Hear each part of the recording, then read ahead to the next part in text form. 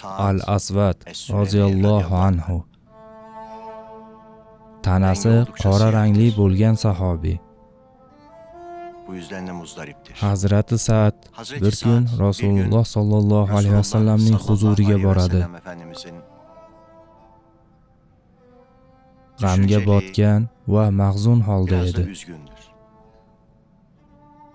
Der ki, "Ya aytadi, yo rasululloh yuzimni qoraligi engel midir?" jannatga kirishimga to'siq bo'ladimi va payg'ambar afandimiz aytadiki "Nefsim jonim qo'lida bo'lgan zotga qasamki sen Allohni chizgan chiziqlardan chiqmasang va uning getirdiklerine iymon keltirsang bu aytganlaringdan hech biri jannatga kirishingga to'siq bo'la olmaydi. Hazrat Sa'd rasulullohga dardini to'kib sochadi. u holda nega odamlar meni "Bu kamsitadi yo rasululloh? nega menga hech kim qizini bermaydi? Payg'ambar afandimiz Sa'dga buyurdi omir ibn vahbning uyiga bor unga "Amir salomimni yetkaz. va deki rasululloh sollallohu alayhi vasallam qizingizni menga nikohlab qo'yishingizni so'radi hazrat Sa'd, payg'ambarimiz aytganidek darhol omir ibn Amir vahbning uyiga boradi. Unga payg'ambar afandimizning gaplarini yetkazadi.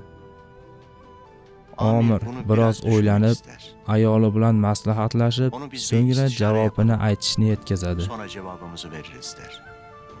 Lekin qizi rasululloh menga munosib ko'rganni men ham munosib ko'raman.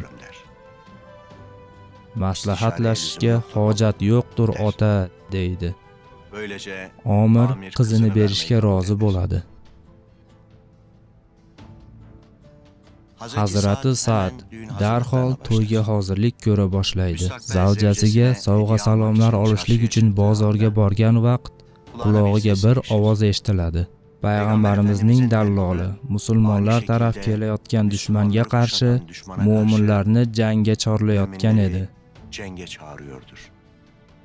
yillar davomida uylanishni xohlayotgan Sa'd maqsadiga bir qadamgina qolganda qiyin sinovga tutildi. uylanib oilasi bilan go'zal hayotda yashashmi? yoki Yoksa qilichlarni olib jang jangga maydoniga chiqishmi? U qiyin yo'lni tanladi zavjasiga sovg'a oladigan dirhamlarga qilich sotib oldi.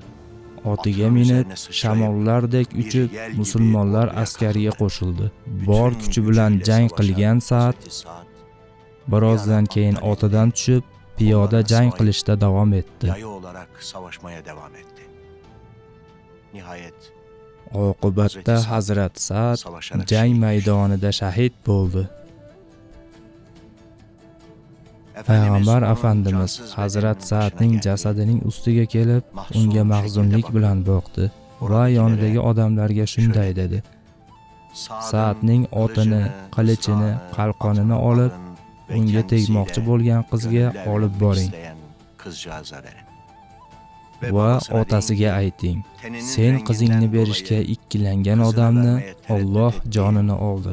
Va uni jannatda huru ayinlarga uylab qo'ydi